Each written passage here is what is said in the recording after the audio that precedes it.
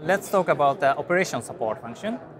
So as you all know, obtaining high quality image requires various adjustments such as beam alignment, aperture alignment, focus and stigma alignments. These repeated process adjustments can be time consuming.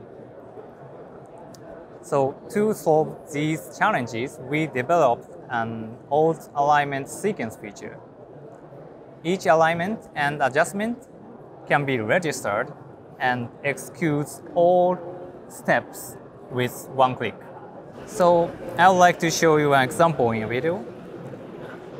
So you can obtain high quality images with four click.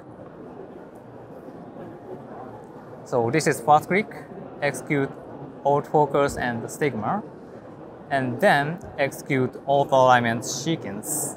This is a new function. And this is beam alignment, aperture alignment, and next is stigma alignment.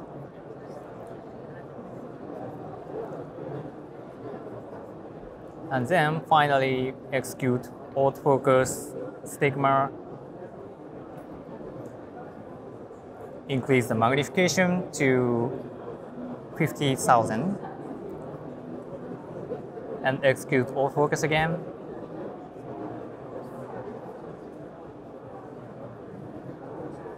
And we click capture.